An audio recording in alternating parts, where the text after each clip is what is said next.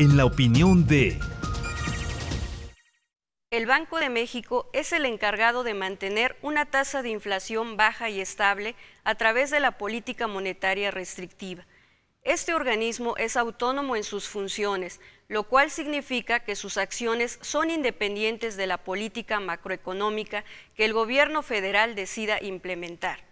Por lo tanto, el desempeño del Banco Central depende de su mandato legal único, la estabilidad de los precios. Así, lo que ocurra con otras variables como el empleo y el ingreso no le concierne. Cabe señalar que en Estados Unidos la Reserva Federal también implementa una política monetaria restrictiva. Sin embargo, a diferencia del Banco de México, tiene dos mandatos legales, estabilizar los precios y mantener el mayor nivel de empleo posible, de manera que no solo le interesa reducir la inflación, sino también incentivar el empleo y el crecimiento económico. En nuestro país, la tasa de inflación fue de 6.77% en el 2017, rebasando la tasa meta en más de 3 puntos porcentuales, mientras que en marzo del presente año la tasa de inflación anual se estimó en 5.04% según el Instituto Nacional de Estadística, Geografía e Informática. Aunque la tendencia de la tasa de inflación es decreciente para el 2018, aún rebasa la meta de 3%. La inflación es uno de los temas que más preocupa a las familias mexicanas, pues afecta negativamente al poder adquisitivo del salario. Por lo tanto, ante el panorama de elevada inflación, es necesario que los ciudadanos conozcan las propuestas que tienen los candidatos presidenciales en materia de política monetaria. Al respecto, Ricardo Anaya y Andrés Manuel López Obrador coinciden en su propuesta de respetar la autonomía del Banco de México.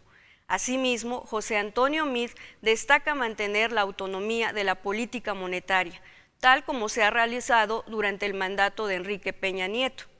Respetar la autonomía del Banco Central implica que la política monetaria restrictiva se continuará aplicando en la próxima administración, si alguno de estos candidatos gana las elecciones presidenciales.